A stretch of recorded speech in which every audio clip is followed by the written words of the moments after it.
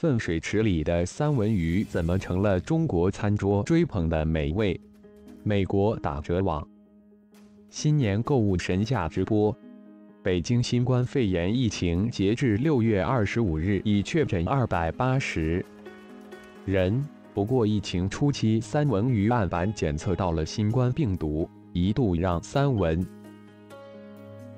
鱼成为了大家关注的焦点。三文鱼在很多人心中是一种高端食材，味道鲜美，肉质鲜嫩，富含营养，干净，售价不菲。不过就在此次北京新冠肺炎疫发生后，德法公共电视台 RT 曝光了挪威三文鱼的养殖环境，大量三文鱼挤在肮脏、充满它们排泄物的粪水里。而高密度的养殖也让鱼尸泛滥成灾，养殖场海水里充满了病鱼。Some Nile Villainly Click To Via Original Some Nile Villainly Why Click To Via Original 而这样的三文鱼运到国内，却可能成为很多人餐桌上的美味。粪水池里的三文鱼却成为。国人餐桌上的美味。德法公共电视台 RT 的纪录片调查报道称，作为三文鱼生产和出口大国，挪威的三文鱼年均销售额达五百亿欧元。在挪威北部海域，坐落着巨大的海上三文鱼农场，每个养殖场都养着上万条鱼。调查记者私自带着摄像机潜入了挪威三文鱼养殖场。我知道会看到鱼因为拥挤而喘不过气，但眼前的景象更为恐怖：大量鱼挤在肮脏、充满它们排泄物的海水里。许多得病的三文鱼身上布满大如手掌的溃疡，有的已变成 S 型畸形鱼。统计表明。养殖三文鱼的死亡率高达百分之二十。此外，高密度养殖也让鱼尸泛滥成灾。Some Nile Villainly Click to be Original。除了养殖条件恶劣，人工养殖的三文鱼还威胁到了野生三文鱼的生存。挪威海洋研究所研究员斯卡拉表示，目前挪威。野生三文鱼数量约为五十三万条，人工养殖的则有四亿条，每年约有一八点三万条养殖三文鱼逃离养殖场进入海洋。它们不但与后者争夺食物，还将鱼尸传染给后者。Some Nile Villainly Click to Via Original。一眼望去，到处都是三文。鱼的排泄物，水已经浑浊的看不清。死鱼沉入海底，并鱼身上裸露着巴掌大的溃疡。不敢想象，一小盘售价就近百元的三文鱼刺身，竟然是如此恶劣的养殖环境，真的太脏了。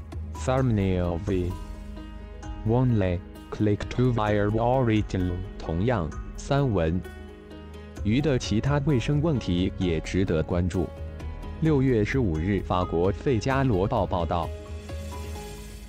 在发现部分三文鱼商品遭到致命病菌李斯特菌感染，法国多家大型超市自六月十二日起下架了三文鱼相关商品，提醒已经购买的消费者不要食用。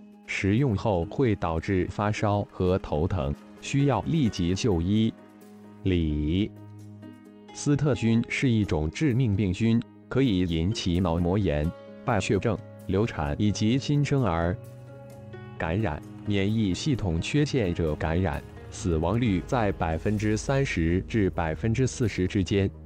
六，mild villainy, click to be worried. 因喽，养殖场工人向三文鱼网箱里喷洒杀虫剂。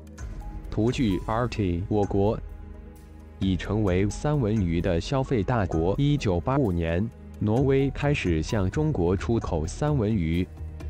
三十五年间，三文鱼一步步逐渐渗入到国人的餐桌上。进入中国第一步，打入高端餐饮，尤其是自助餐、日料，获得健康而高端光环。第二步，又在轻食和高端精品超市中找到了立足之地。进口、营养、高端、健康这几个标签一打出来，三文鱼完全符合了国内心中。产的消费升级需求，日料餐厅里售价低则几百，高则上千的三文鱼刺身，以及高级而不失优雅的的饮食体验，吸引着很多国人。其中不乏跟风吃三文鱼的人。Some are willingly say like to via original。根据三文鱼渔业信息新闻网。战 Salmon Business 公布的数据显示，今年一月到四月，在中国进口的所有冰鲜三文鱼中，挪威占据百分之四十五的绝对份额。